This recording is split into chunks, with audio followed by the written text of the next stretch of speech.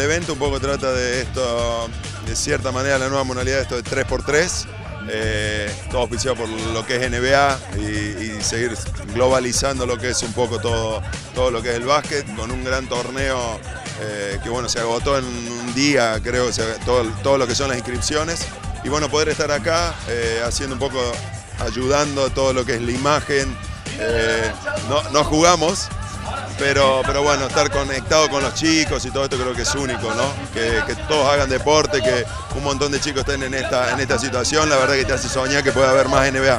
Es una buena oportunidad, estoy feliz y contento porque es una oportunidad para enseñar diferentes cosas de NBA y la gente de Argentina está muy amable y es la primera vez aquí, pero yo, yo sabes un poquito una cultura de los argentinos porque mi ex compañero Manu y Fabricio enseñan diferentes cosas a mí.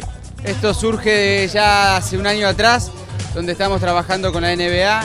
En miles de reuniones viajaron varias veces de Estados Unidos para acá y nosotros para allá, hasta lograr el primer contrato de una empresa argentina con la NBA.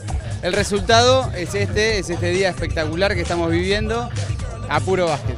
Este evento fue inscripción gratuita y abierta para todo el público. En un día y medio se inscribieron 120 equipos de tres personas. Fue un éxito impresionante. Estamos acá en Tecnópolis, el evento dura dos días, es sábado y domingo, de 9 de la mañana a 6 de la tarde. No, estoy muy feliz porque es, es mucha historia aquí, es diferente cultura de Estados Unidos, pero eh, eh, estoy muy cómodo porque la gente está muy, muy ah, cariño. Tela. ¡Mua!